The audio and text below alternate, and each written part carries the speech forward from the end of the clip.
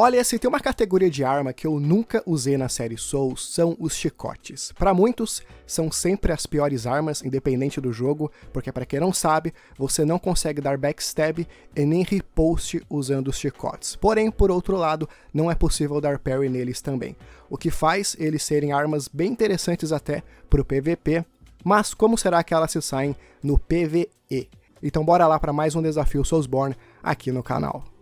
Vocês devem ter acompanhado que nas últimas semanas eu fiz todo esse desafio em live aqui mesmo no YouTube. Então, para quem não viu, tá tudo gravado aí se quiser acompanhar por completo. Foram cinco lives ao todo de 4 horas e pouco. Já os outros desafios foram todos lá na Twitch e tá tudo salvo lá também. O link tá na descrição, caso você queira me seguir lá também. Eu fiquei pensando aqui qual jogo da franquia eu ia fazer isso daqui, e eu acabei escolhendo Elden Ring pela diversidade de chicotes. O Power Stance, que tá de volta, né, sempre muito bom, e também ter os chefes mais desafiantes da franquia, na minha opinião.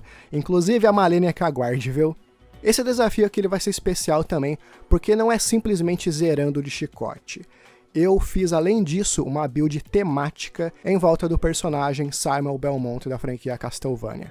Então eu vou ter algumas liberdades a mais, então eu vou deixar tudo bem claro aqui na parte de regras. Além do chicote, eu quis usar outros itens né, que tem a ver com esse personagem, e pegando mais o primeiro Castlevania como base, temos as facas de arremesso, que literalmente estão no Elder Ring, né? O que é uma coisa muito boa, e além delas, eu usei cookies também. Potes, no geral, também estavam liberados para poder imitar a água benta daquele jogo. Em relação às magias de buff, eu permiti apenas aquelas que têm algum envolvimento com fé, para tudo ficar ali é, dentro de uma build sagrada como um todo. O set que eu estou usando para aparecer o Simon é o do Zamor, que você pega na tumba do herói, que está lá na área de neve, e a testeira de plebeu, que tu pega com os Hollows, andando junto com as caravanas espalhadas pelo mapa. Não tá perfeito, né, mas quando você vê de longe até dá para disfarçar. Eu acho que tá um cosplay até bem decente, viu? Para falar a verdade, metade desse desafio foi foi basicamente usando o He-Man e a outra metade, quando a gente finalmente chega na área de neve, aí sim eu pude me transformar no Simon Belmont. Indo agora para a build de fato, né, começando com os chicotes, que é a parte mais importante, temos o basicão, que está lá no Castelo Morne. O Urumi, que é um chicote meio espada, é, ele é muito bom porque pega S em destreza, upado no máximo, colocando alguma escala em Dex nele, e tá lá na mansão Caria. Obviamente que temos os chicotes Roslow, que causam sangramento, um dropa do Dialos, quando você mata ele, é quando ele, quando ele vai lá para Liurnia, e o outro é do meio da quest da mansão vulcânica, lá na área de neve.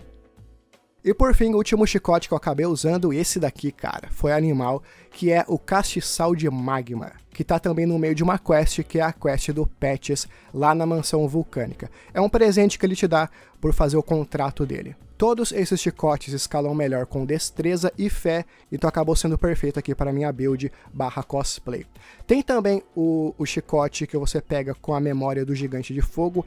Eu não usei ele em nenhum momento, porque ele tem um pezinho também na parte de força, então não tinha muito a ver aqui com a build que eu estava fazendo. Eu tenho certeza que é um chicote muito bom também, mas sendo bem sincero, não faltou para mim não.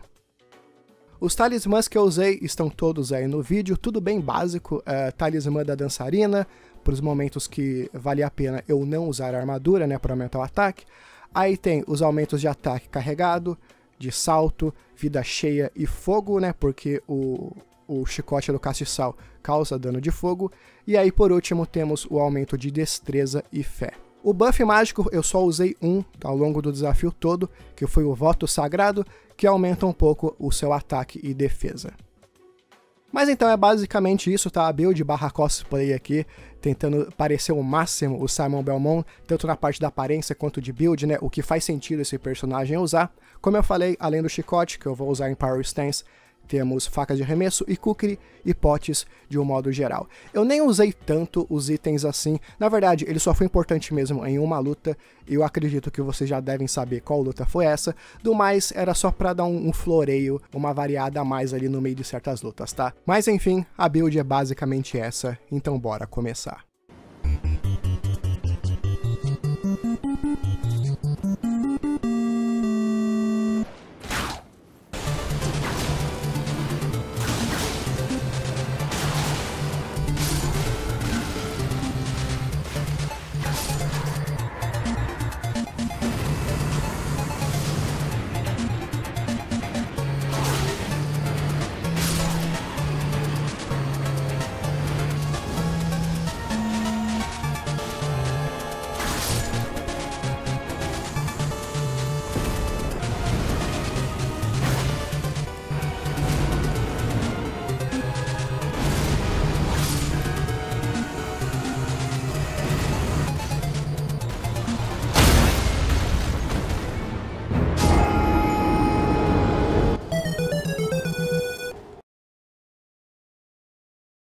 Pô, uma coisa que me pegou muito de surpresa foi o dano bem baixo, cara. Eu acho que talvez seja o principal motivo que eu nunca usei direito um chicote na franquia Souls, porque de fato o dano que eles dão é bem baixo, independente se eles estão upados ou não. E aqui contra o Margit foi meio que um choque, viu? Ele me matou algumas vezes, e eu não sei se, eu não sei se é só impressão minha, eu dei uma procurada na wiki do jogo, eu não vi isso escrito em nenhum lugar, mas a impressão que dá é que, primeiro, os chicotes são péssimos para quebrar a, a, a, guarda dos inimigos. Eu nem sei se eles tecnicamente podem, acredito que podem, porque eu quebrei a guarda de um chefe aqui e outro ali, mas, mano, demora demais. E segundo, eu também senti que demora muito para aplicar os efeitos, independente de qual for no chefe. Tipo, efeito de, de sangramento no caso do, do chicote do Roslow. Por enquanto aqui eu não estou usando ele, então vamos aqui basicamente com o chicote é, normal e o Urumi. E a luta contra o Margit aqui foi bem parecido com qualquer outra, assim, independente de ser um desafio ou não, ele se move demais, é esperar o melhor momento para poder contra-atacar ele.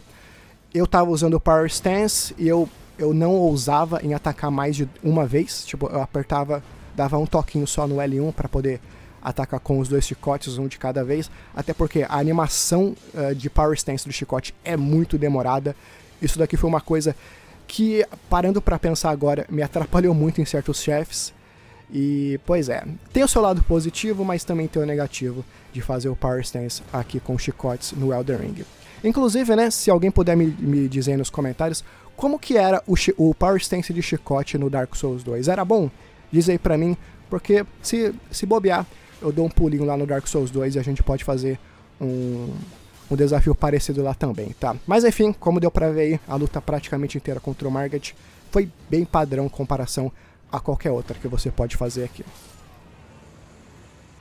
Já que contra o Godric, uh, eu fui um pouquinho melhor, porque acabei matando ele de primeira. Sendo bem sincero, o Godric eu acho que é o chefe que eu mais entendo no, no Elder Ring, ou um dos que eu mais entendo. E tem uma coisa bem legal do Godric, é que ele te dá muita oportunidade para dar ataque pulando, né? Ele tem alguns ataques ali que ele causa uma shockwave em volta dele, especialmente esse que ele bate o, o machado no chão. Acabei tomando dano aqui porque eu esqueci que ele bate a segunda vez mais rápido, mas na, na próxima vez que eu fazer isso na luta eu vou lembrar. E do mais dá pra ver que eu tô tacando uns potes de água benta, né? Inclusive o nome é, é literalmente o mesmo item que tu usa lá no Castlevania, que foi uma parada que eu acabei reparando no meio do desafio. Eu não sabia que esse era o nome traduzido em português, então tá mais perfeito do que nunca, né? É, esse item para esse para essa build. E mas como dá pra ver não foi nenhum problema não, porque já estamos aqui na segunda fase contra o Godric. Corre sempre para cima dele ali, porque não tem colisão nesse braço de dragão que ele tem. Tu pode passar por dentro. É meio tosco, mas, pô, ajuda demais especialmente nessa abertura de segunda fase. E do mais aqui eu corria para longe dele, tentava atacar uh, umas facas de arremesso, um pote de fé, de, de água benta, né, para ver qual é que era, mas a luta de verdade estava em cima dele. Muitos ataques pulando, né, tirando vantagem do talismã de salto. E como dá pra ver também, eu tava usando o talismã da Marika ou do Radagon. Eu sempre confundo qual que é qual, mas eu, eu tava usando um dos dois, mas só foi nesse comecinho aqui. Então eu nem acabei mencionando lá atrás na parte de build. E é isso, Godric, segundo boss aqui, o primeiro boss principal segurando uma runa mortinho. Pô, eu vou te falar, eu não gosto do Lobo do Radagon, cara. É uma luta muito caótica pro meu gosto, porque ele é muito rápido, cara. Tipo, ele é bizarramente rápido. Ele causa muito dano e certas combinações de ataques que ele faz te dá muita dor de cabeça, né? Especialmente quando ele, ele, ele sumona aquelas espadinhas de mágicas e ele começa já a animação de outro ataque, aí tu tem que desviar de duas coisas ao mesmo tempo. É complicado, cara. Tipo, porém, por outro lado, né, e eu falo isso em todo desafio que eu faço, ele é um chefe que causa muito dano, mas toma muito dano em troca também. Então a luta, apesar de ser perigosa, não foi nenhum problema não. Renala, como dá pra ver o dano, até que tá decente, né? Tudo bem que a primeira fase ela é praticamente inofensiva, né? É só tomar cuidado é, com aquelas estantes que ela joga para cima de você. Então não tem muito o que comentar aqui, mas eu fiquei bem feliz e bem surpreso com o dano que eu estava dando na Renala. Já na segunda fase, o dano eu diria que continua decente, viu? A questão aqui da Renala é que ela tá sempre fugindo de você, né? Tentando ficar à distância, obviamente tentando tacar magia. E desviar das magias dela a tempo e, e com um timing ali bem preciso também é chave para poder derrotar ela. Então, por mais que ela ficava ali fugindo de mim, pulando de um lado pro outro, eu focava basicamente ali nos golpes, pulando com, com Power Stance. Quando ela começa a summonar a galera, é tudo bem chato, né? Especialmente quando vê o dragão ou vem até o gigante. O mais insuportável para mim é o cão de caça, né? O caçador lá. Mas é só ter cuidado, ter calma, porque logo logo eles desaparecem. E dessa forma, matamos mais um chefe principal, outro que está segurando uma runa.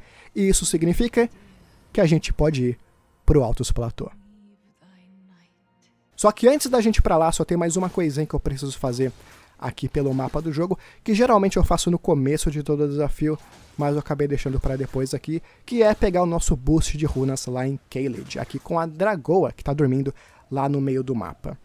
É, eu só aconselho você fazer isso daqui, caso você tenha uma arma de sangramento, e cara, fazer isso daqui com chicote foi bem sofrível, muito sofrível mesmo. Eu aconselho também a a utilizar ali um pé de galinha dourado, porque você praticamente pega 100 mil runas aqui totalmente de graça. É, você não tem esforço nenhum, a única coisa que você vai gastar aqui só é tempo mesmo. E como eu falei, use uma arma de sangramento, porque ela tem muita, mas muita vida. Ok, nesse ponto aqui eu já dei um rolê pelo mapa, fui até a mansão vulcânica, completei a quest do Patches e ele me deu o, o castiçal aqui de magma. E cara, a weapon art dessa arma é animal. É, aparentemente ela já foi melhor até no lançamento do jogo. Se eu não me engano, essa arma deve ter recebido um, um, um nerf ou outro através de um patch. Mas olha isso, velho. Só de abrir a luta a gente tira mais da metade da vida aqui do Cavaleiro Sentinela. Que é o meu Nemesis, né? Quem acompanha aqui os desafios no canal sabe que eu tenho um sério problema contra esse chefe. E não deixa essa gameplay te, te enganar não, tá? Ele me matou algumas vezes, mas ter reparado aqui que o, que, que essa skill do, do chicote de magma é tão boa, foi essencial para ganhar dele, porque tu abre a luta ali na base do stealth, chega atrás dele e deixa a animação do chicote acontecer. Desde que você não solte o botão, o teu personagem não vai parar, ele só vai parar quando a sua barra de estamina ou de FP acabar mesmo. E é isso, não tem muito mais o que comentar aqui, era aturar o restante da luta, que diga-se de passagem, é uma luta que eu não sou muito bom, muitos ataques pulando, que logo logo a sentinela dracônica foi derrotada.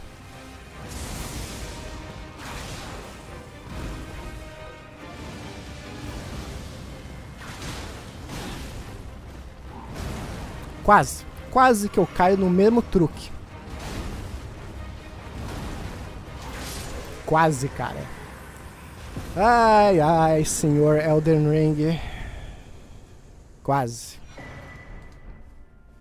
Já adentrando lá ainda, sem muita enrolação, cara, bora Godfrey Espírito. E olha que eu comecei essa luta é, meio ruim, porque lá atrás, aqueles caras árvores que estão ali fora, eles me bateram quando eu tava, tipo, preparando ali a tentativa, mas tudo bem. Mesmo, mesmo nerfado, a gente consegue ganhar aqui do Godfrey Espírito. E essa luta é sempre muito boa, já para você sentir uh, como que o Godfrey de verdade vai se sair dentro desse desafio. E como dá pra ver, é ok, eu diria, esse dano. Não é nada demais, mas também não é a pior coisa do universo, né? É claro, né, como é de praxe aqui contra o Godfrey, muitos ataques pulando, porque assim como o Godric, ele também bate muito aquele machado dele no chão. Inclusive, né, será que tem algum alguma pitadinha de lore aí do Godric tentando imitar o seu ídolo máximo que é o Godfrey? Talvez tenha, viu? Sendo bem sincero, só foi agora que eu parei para pensar nisso.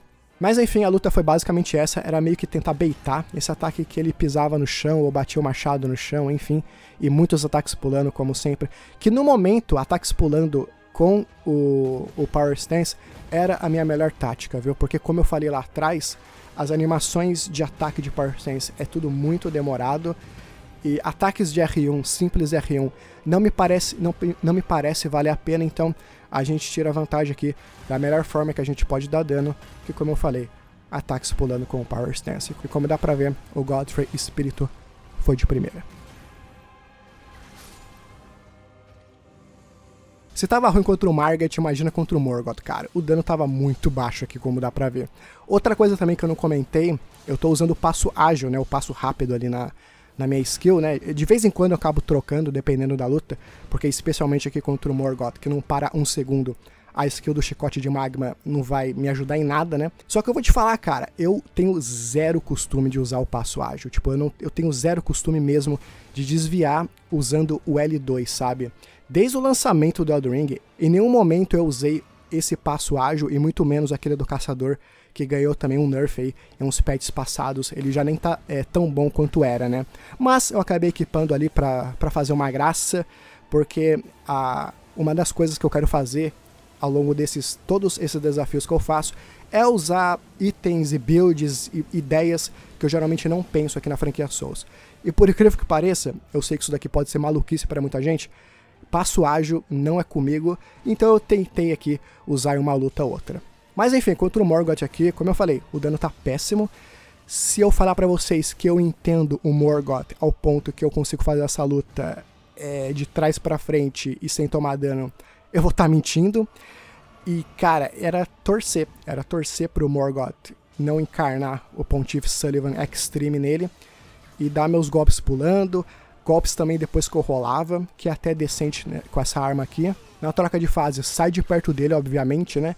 Eu até tô usando uns buffzinhos aqui no meu inventário. Inclusive, né, tem aquele pedaço de carne que é a, que aumenta teu ataque aqui no jogo, que no Castlevania é como você recupera a sua vida. Então, eu até achei apropriado usar esse buff aqui ao longo do desafio também. Como nem tudo na franquia Souls é habilidade, tu tem que ter muita sorte também, eu escapei da morte certa diversas vezes nessa luta contra o Morgoth, e especialmente nesse finalzinho, cara, essa aquele cantinho entre a marreta que ele taca no chão e a espada, aquele, aquele cantinho que você tá ligado qual é. Passar por ali com o rolamento é uma sensação muito boa e foi justamente dessa forma que eu acabei finalizando ele.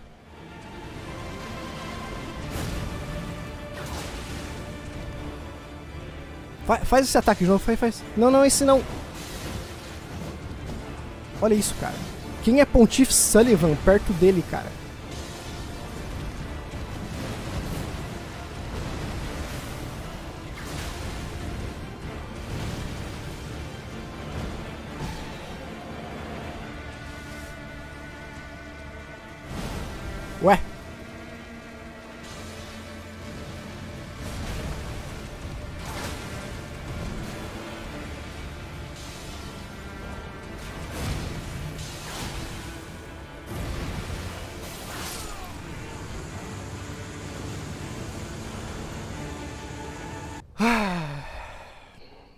Toda a luta contra o Morgoth é uma adrenalina pura, mano. Deu pra ver que eu tô fazendo as coisas um pouco fora de ordem, né? Geralmente eu já tinha matado o Radan a essa altura, mas eu deixei ele pra agora. E eu acho que eu não vou comentar nada, porque eu não preciso. Se liga só como foi essa luta. Bom dano.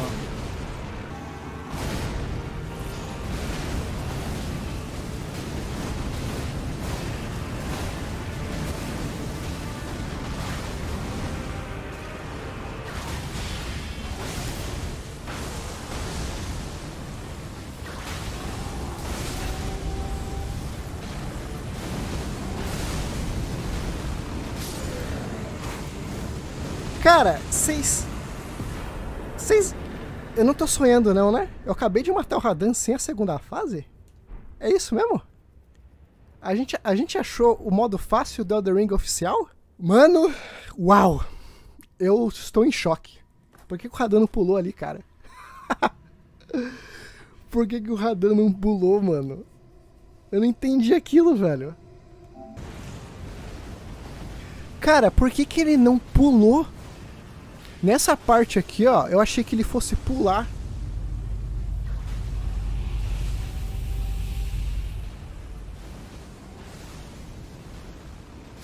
Caraca, que bizarro, cara. Que bizarro, mano. Antes que alguém comente alguma coisa assim, eu sei que o Mog tem é, resistência contra fogo, mas eu não tinha outro chicote melhor. Na verdade, eu até poderia é, pegar outro, só que a preguiça de upar eles falava mais alto essa altura aqui. Então, só para ter aquele gostinho de desafio a mais, eu resolvi encarar o Mog relativamente cedo, até eu diria, uh, aqui no jogo, é, usando aqui o meu castiçal. E como dá pra ver, o dano é ok até. Poderia ser muito pior, eu diria, viu? Na verdade, eu até acabei me surpreendendo com essa luta porque eu quebrei a postura dele um momento. Então, o chicote, cara, ele tem que trabalhar dobrado, mas ele consegue até, viu? Pô, em relação ao Mog, eu, eu comentei lá atrás, né, que o Godric, eu conhecia bem ele. Só que se eu tivesse que te falar qual chefe que eu mais conheço no Elden Ring, é o Mog, cara. Porque o que esse filho da mãe me fez estudar ele no lançamento do jogo foi brincadeira. Ao ponto que eu diria que hoje eu me garanto bem contra o Mog aqui. É, é claro que você não controla direito onde ele lança o, o fogo de sangue dele na segunda fase, mas nessa primeira aqui, todos os seus movimentos, eu sei ler muito bem eles. Eu posso até dar umas dicas aqui para vocês. Eu acho que talvez a grande dificuldade da galera seja entender o quão longo que vai ser o combo do Mog. E uma coisa que eu posso falar é que sempre que ele levanta esse bracinho é, esquerdo dele pro ar, ele acabou o combo ali. Outro momento também que ele sempre termina o combo e fica aberto para contra-ataque é quando ele finca o tridente no chão só que tem que ficar esperto que quando ele tira o tridente, aquilo causa dano também. Então espera ele tirar o tridente para você contra-atacar. Outro momento bom é quando ele faz a explosão, tanto a normal quanto essa de garra. Provavelmente ele vai vir depois tentando é, te espetar com o tridente, então fique esperto com isso. E cara, na segunda fase também não foge muito disso. E em relação aos combos, como eu falei também, eles são praticamente os mesmos, com apenas com algum efeitozinho a mais aqui e outro ali a música dá aquela acelerada, entra o coro de fundo, que tudo fica bem tenso, mas é só manter a calma que a gente consegue aqui matar o Mog. Com os chicotes sendo um deles com um elemento que o Mog é resistente, mas como dá pra ver, não foi tão complicado assim não.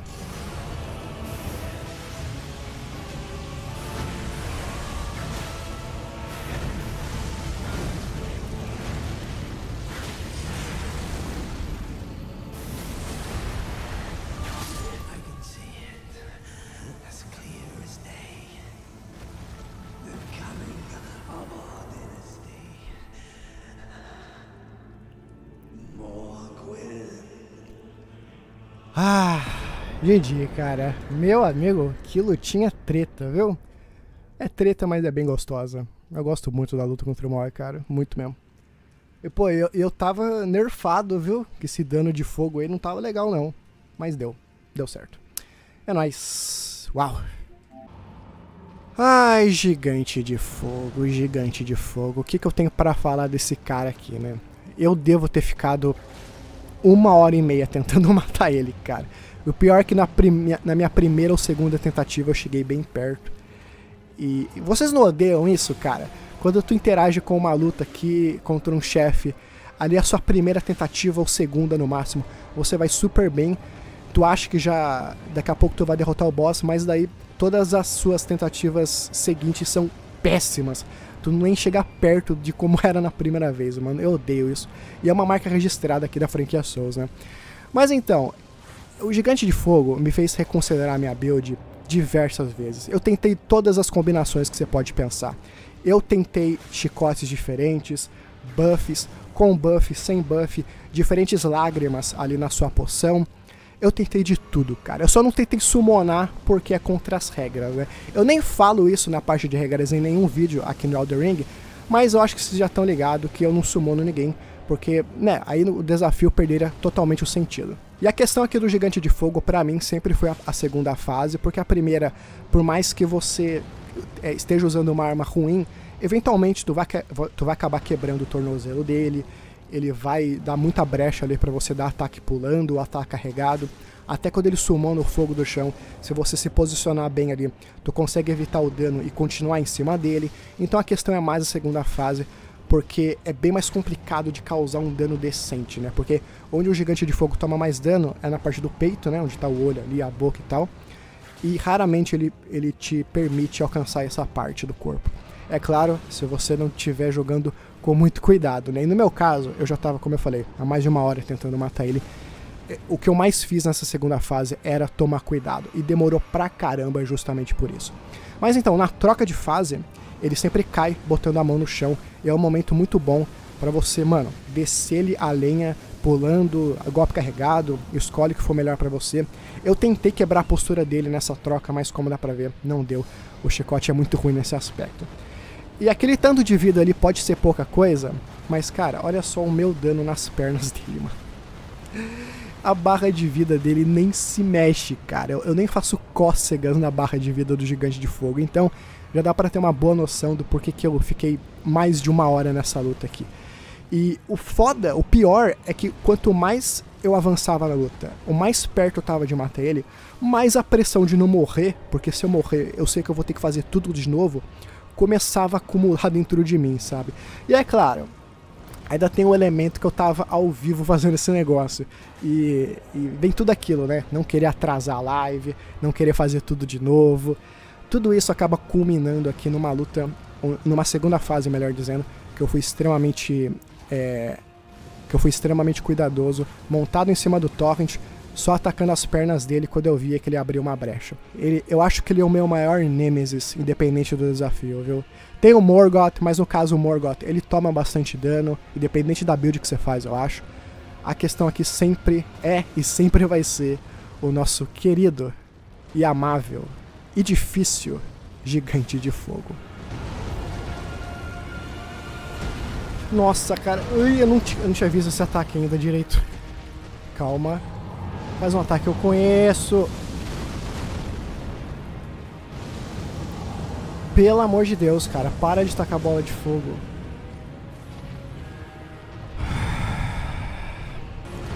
Ai, montanha. Putz.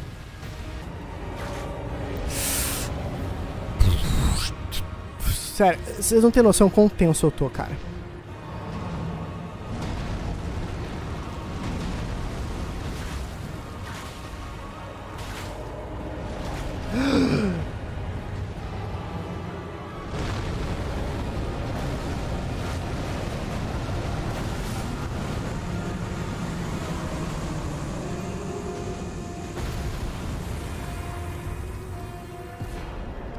Mano, deixa eu tomar uma água aqui. Olha, teve duas lutas que eu fiz fora da live. É, uma delas eu acho que vocês já devem imaginar qual é, né? E a segunda foi o Godskin Duo. Mas então, em relação à luta em si, sim, eu usei o pote de sono nele.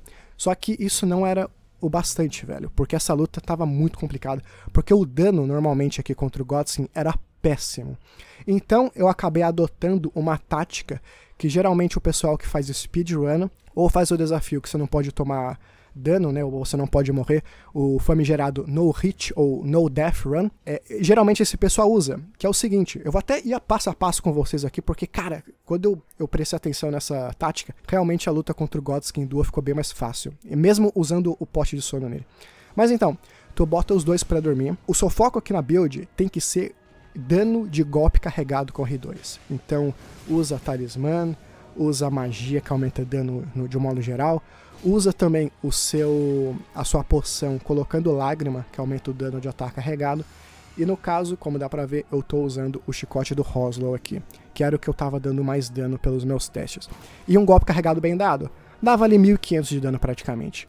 E, cara, é um, é um dano bem decente. E o motivo que tu bota os dois para dormir é que o chefe, ele tem uma animação dele acordando o que permite você dar uns dois ou três golpes carregados ali de graça. E como dá pra ver, o primeiro Godskin aqui magro tá quase morrendo. Tem um segredinho também aqui para quem não sabia dessa luta, é que eu acredito que isso seja intencional, porque o mesmo acontece uh, com os Four Kings no primeiro Dark Souls, é que depois que tu mata um Godskin e tá o corpo dele ali desaparecendo, né, na animação de morte dele, tu ainda consegue dar dano na, bar na barra principal do boss. Como dá pra ver, eu já tinha derrotado o Godskin Magro, mas ainda assim eu dei dano ali na barra geral deles. E seguindo aqui, a gente acorda o Gordão. Não dá pra, não dá pra dar tantos golpes carregados assim em comparação ao Magro, mas como dá pra ver, eu acabei quebrando a postura dele, que foi uma grande surpresa aqui pra mim. Finalizando ele aqui, a gente espera o próximo aparecer. E só pra ir na segurança, Vamos botar esse carinha aqui para dormir também. Agora que só tem um Godskin na arena, mano, agora é sucesso, né? É só gerenciar mesmo. Tu tem que ter um pouco de pressa, porque se você bobear muito, o, o outro Godskin vai vir também, e ter que lidar com dois ao mesmo tempo. É o que a gente está tentando evitar, mas como dá pra ver, deu tudo certo, e eu ainda interrompi ali a animação de, dele tentando summonar o amigo. E por fim, só sobrou o gordão mesmo, com quase nada ali na barra de vida principal, botando ele para dormir também, só para dar aquela garantida. E cara, essa tática aqui é fenomenal, eu vou usar ela daqui pra frente. É claro, se o desafio permitir. Mas de resto, jogando o game aqui pra mim mesmo, sem gravar pro canal, eu só vou derrotar o Godskin Duo dessa forma a partir de agora. Ainda na vibe aqui do golpe carregado, na tática do Godskin Duo, eu tentei a mesma coisa aqui contra o Clérigo Bestial na sua primeira fase aqui do Maliketh. E olha, eu vou te falar que deu bom, viu? Deu certo. Ele... Eu, eu, eu sempre tentava contra-atacar ele quando ele soltava a garra para cima de mim. Não dá para carregar ele por completo, eu só dava um R2 naquele momento mesmo. Já nesse daqui, que ele dá um golpe um pouco mais demorado, é só tu ir para cima dele, chegar ali debaixo dele mesmo, que você vai estar tá seguro, e, e segurar o dedo no R2. E é claro, nesse ponto aqui, eu ainda estava com os buffs ali de golpes carregados. Já na segunda fase, meu amigo, chegamos aqui no nosso querido Marikas, né? E eu continuei até uh, me arriscando nos golpes carregados, porque especialmente nesse daqui, que o Malikat, ele dá um overhead bem demorado e você tá 100% seguro debaixo dele, tu tem tempo suficiente para dar uma chicotada carregada nele. Ah, e nesse ponto aqui também, como dá pra ver, eu abandonei o Power Stance, porque toda aquela questão das animações seriam muito demoradas. Muitos golpes também depois que eu rolava, simples R1s, porque contra o Malekith tu não pode dar bobeira, sempre que ele abrir uma brecha, uma brecha tu tem que aproveitar. E geralmente, tirando um ataque ou outro, ele sempre se recupera muito rápido. Então, apesar do dano, eu diria ser patético, tirando quando eu dava um golpe carregado, a questão aqui contra o Malekith era mais a segurança do que a rapidez nessa segunda fase, viu? Eu fiquei perto de morrer diversas vezes, mas já tendo ali um pouquinho de experiência nessa luta, a gente pôde terminar ela sem muitos problemas. Ele me matou algumas vezes, mas não foi nada perto do que o, o gigante de fogo fez comigo, né? Eu já, eu já adianto, nenhum chefe vai ser isso daqui para frente. Então, Maliket aqui derrotado, podemos prosseguir no jogo.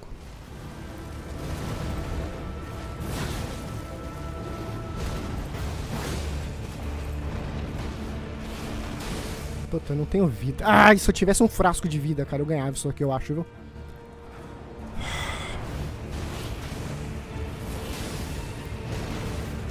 Talvez carregar uma vida, uma...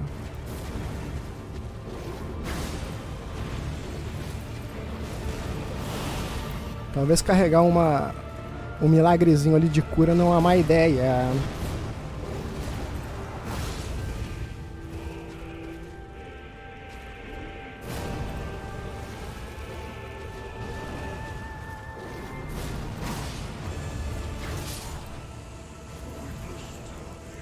Cura pra quê, cara?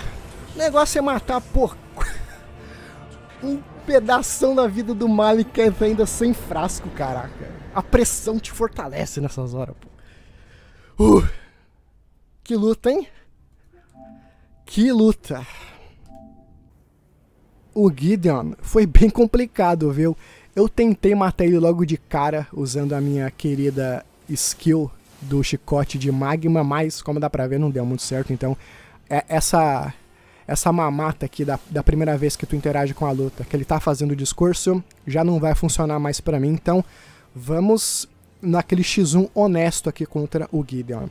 E cara, foi complicadinho, viu? Foi complicadinho porque fazia muito tempo também que eu não enfrentava o Gideon de verdade, porque em literalmente todos os meus outros desafios ele morria logo de cara. Até no desafio da bolha foi bem tranquilo, mas aqui não. Foi um, uma partida aqui de PVP, um x1, bem, bem honesto. A questão contra o Gideon é que o dano que ele dá é um absurdo, né, cara? É inacreditável o tanto de dano que esse desgramado dá. E tem uma curiosidade também, que eu não sei se é todo mundo que sabe, é que se você enfrentar o Gideon sem ter falado para ele é, a localização de certos chefes e ter comentado que tu foi atrás da Malene e tal, ele não faz o ataque desses chefes. Porque ele não aprendeu com você, entendeu? Então, por exemplo, nessa luta, eu não comentei ele da, da relação a Malenia, Mikola, enfim, eu não comentei nada e ele não faz o ataque da flor da Malenia. Eu acho que isso vale para algum outro para outros chefes, mas eu não tenho certeza. E como dá pra ver, o meu dano contra ele estava bem bom até, e sendo uma partida ali contra um outro é, ser humano, né, um, entre aspas, uma partida de PVP, ele reage como outro player, né, então ele toma stagger, uh, você consegue interromper ataques dele, só que tem que tomar muito cuidado porque o dano do Gideon é extremamente alto. Foi algumas tentativas, uma boa meia dúzia talvez, mas eventualmente Sir Gideon Offner, o sabe-tudo, foi derrotado.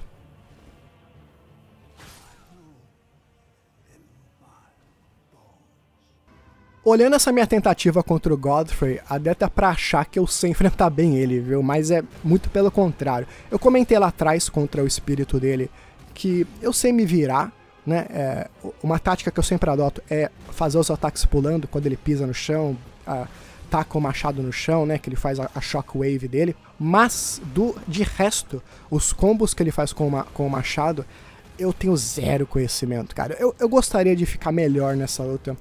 Eu vou ver isso para os próximos desafios. Eu consigo me aprimorar aqui contra o Godfrey, viu? E daqui pra frente, qualquer pisão que ele dá no chão, pega em toda a arena, mas como dá pra ver, ele já estava ali bem pertinho da sua verdadeira troca de fase para enfrentarmos o Horalu. O Horalu, que vocês já devem estar cansados de saber, eu sou muito ruim contra ele. Até dei. Até tentei uma graça aqui tacando umas cookies. E essa luta é puro desespero para mim. Porque eu, o que eu fico esperando ele agarrar meu personagem por conta de um rolamento que eu fiz atrasado ou adiantado. É sempre uma tensão muito grande ali. Teve um pessoal no chat que acabou me dando algumas dicas é, para sempre tentar ficar gerando de um certo lado dele, né? Cara, acabou ajudando até eu diria. Foi uma de todas as minhas tentativas contra o Horalu, essa daqui eu acho que foi uma das mais decentes, porque ele quase não deu dano em mim, mas a tensão de enfrentar ele tava sempre lá.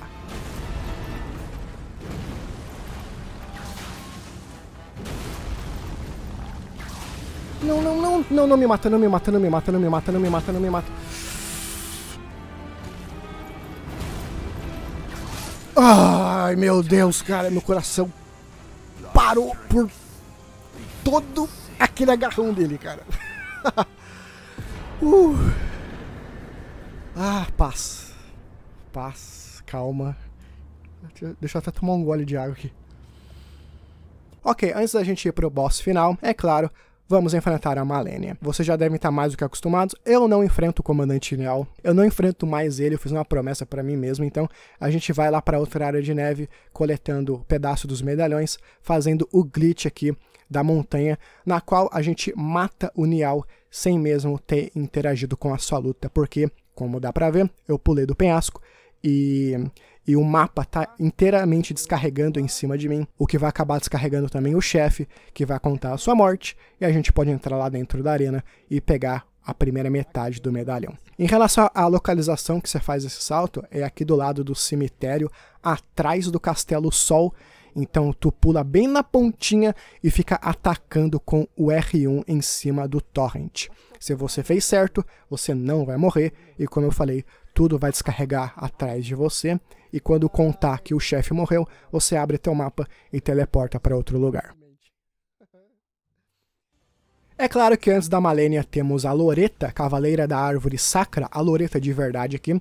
E cara, eu sempre acabo esquecendo que ela existe, não porque eu não gosto dela, muito pelo contrário, eu amo essa luta. É a minha luta contra um cavaleiro em cima do cavalo favorita do jogo, é, é que realmente eu acabo esquecendo, porque o meu foco nessa área sempre é a Malenia, né? Outra coisa também, eu peço desculpas por essa qualidade de vídeo, porque, como eu falei, a live foi no YouTube e aparentemente o YouTube não lida muito bem com live gravada. Certos momentos a qualidade estava bem ruim, então em um momento ou outro desse vídeo aqui, se a imagem ficou meio zoada para vocês, é porque foi um cortezinho da live que eu estava comentando ao vivo. Mas então, em relação à luta em si, não tem muito o que comentar, sabe? É desviar das suas magias, aproveitar os momentos que ela vem com a alabarda para cima de você, que os ataques dela são todos bem lentos, e eu basicamente foquei em dar golpes pulando também e depois de rolamento. O dano tá ok, foi uma luta um pouquinho demorada, ela me matou algumas vezes, especialmente desviar daquela flechada tripla que ela dá mágica. É meio complicadinho, foi uma luta, considerando tudo, até bem tranquila. Uh, foram apenas algumas tentativas e agora sim partiu Malenia. Vem cá, Loreta, só mais uma. Calma. Caraca, velho. É nóis, Loreta. GG. É, foi de que? Terceira? Terceira, eu acho, né? E finalmente chegamos na nossa querida Malenia, Espada de Miquela. É, eu nem preciso falar, né? Que eu matei ela fora da live. Acabou faltando só a Malenia. Teve outros chefes secundários, mas o principal mesmo que a galera quer mais ver é sempre a Malenia. Então eu fui, eu fui atrás dela. Inclusive, eu queria perguntar uma parada para vocês. Se por acaso, é, em, em um desafio Soulsborne futuramente no Elder Ring, se eu lançar um vídeo sem a Malenia, pode deixar nos comentários se vocês vão achar ruim, se, vo se vocês vão encher o vídeo de, de dislike ou algo do tipo, porque eu sei que a galera vai perguntar dela.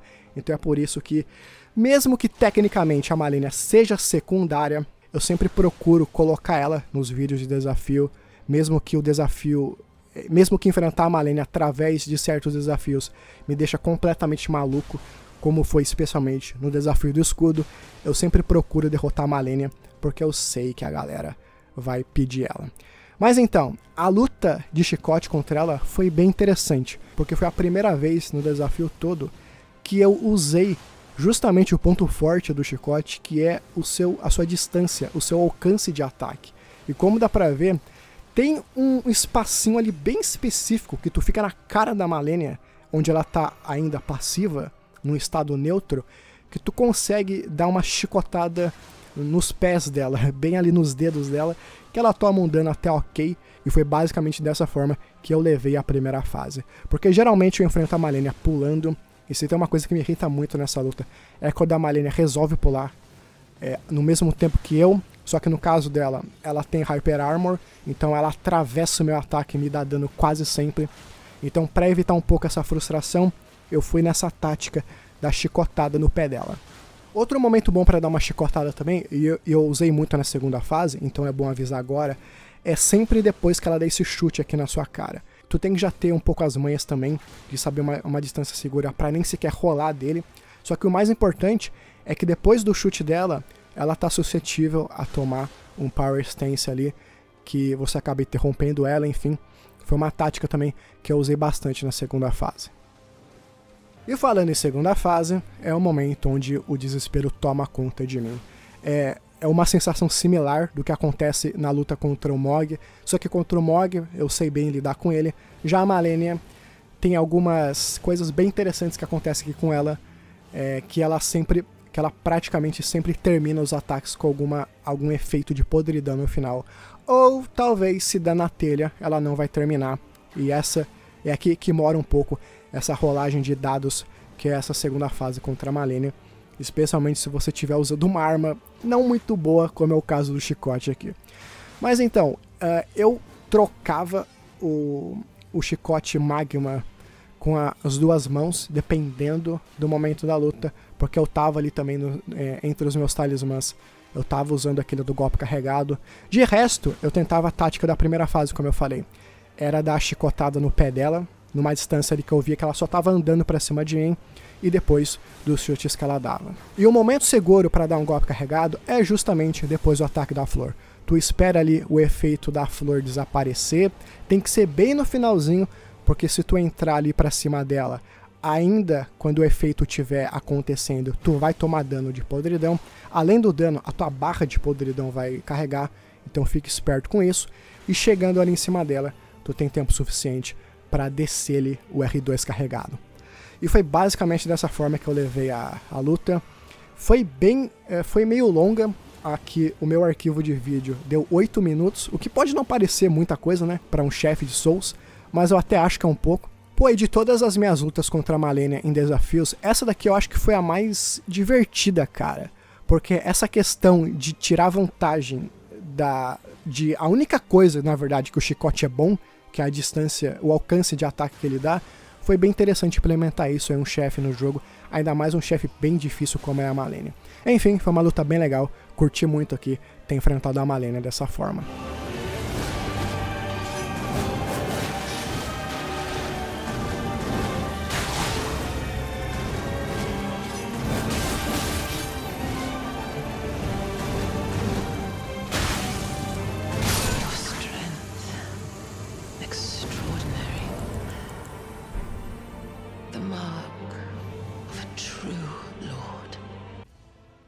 E por fim, o nosso querido Radagon, da Ordem Áurea e o Elden Beast. A primeira coisa que eu tenho para falar, eu fiquei bem surpreso com esse dano que eu tava dando no Radagon, viu? Tava relativamente alto para o que eu tava esperando. Uh, e segundo a wiki do jogo também, tanto Radagon quanto o Elden Beast, eu acho, eles são neutros contra fogo. O que não quer dizer muita coisa, né? Mas tudo bem. Se é para tirar o mínimo de vantagem numa luta, a gente vai tirar. Tanto que, como dá pra ver ali embaixo, eu coloquei infusão de fogo na no meu chicote ali na, na outra mão, que era a Urumi também aqui. E desde o desafio do escudo, que eu pude ler bem os movimentos do Radagon, porque já que era com o escudo eu tava mais assistindo ele jogar do que eu atacando, eu acabei me acostumando bem com os movimentos do Radagon, viu? Especialmente no timing das rolagens, das explosões de, de fé que ele acaba colocando no chão. E eu recomendo muito as pessoas prestarem atenção bem nisso, porque acaba deixando a luta contra o Radagon muito mais fácil. Outra dica que eu, também que eu posso dar é que aquele ataque uh, que ele dá um agarrão em você, que é uma explosão barra agarrão, tu pode rolar através daquilo que deixa o Radagon bem aberto aqui para contra-ataque. Foi uma coisa que eu descobri não faz muito tempo também. Enfim, depois de muitas explosões, pulos e rolagens e ataques pulando, a gente pode chegar aqui no Elden Beast.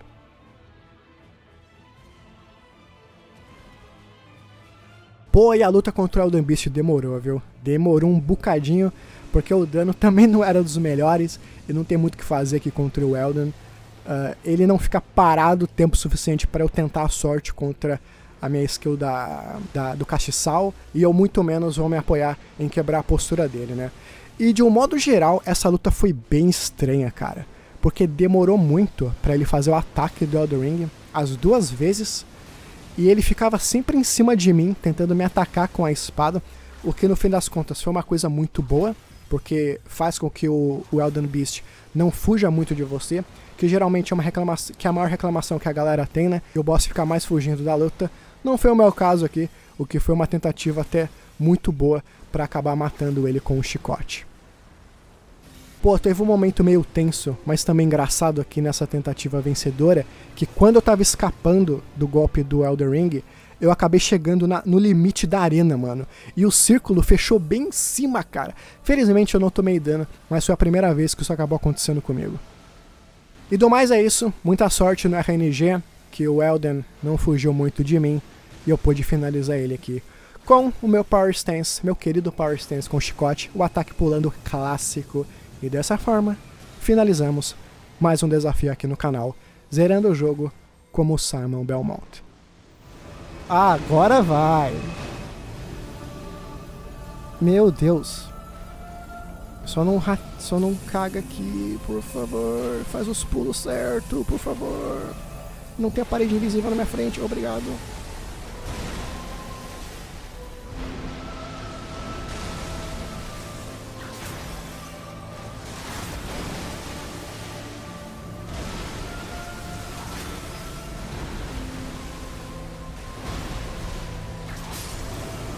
De.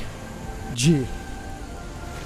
Ah, e é dessa forma que eu finalmente zero Elden Ring só no chicote, ou quase só no chicote, com essa build temática do Simon Belmont. Mas então, galera, é basicamente isso, beleza? Terminamos mais um desafio Soulsborne aqui no canal. Esse daqui foi mais tranquilo comparado aos outros, porque a grande graça era fazer um cosplay, homenageando aí um personagem bem clássico na história dos jogos, que dá para fazer um cosplay bem decente aqui no Elder Ring, né? Porque além do óbvio chicote que é a arma principal dele, tu tem os itens extras, né? Você tem a, a faca de arremesso, tu tem um pote que literalmente se chama pote de água benta, além da parte visual que tu consegue recriar o personagem e vestir uma roupa até bem parecida. Pô, e foi muito divertido fazer isso daqui, porque foi a primeira, o primeiro desafio que eu fiz live no YouTube. E só reforçando, se você quiser assistir tudo, tá, tá gravado, é só entrar aqui no canal. E também que é muito bom, de vez em quando, escolher um desafio um pouquinho mais tranquilo para fazer aqui nos jogos. Eu não sou de ferro, tem que dar aquela extravasada de vez em quando.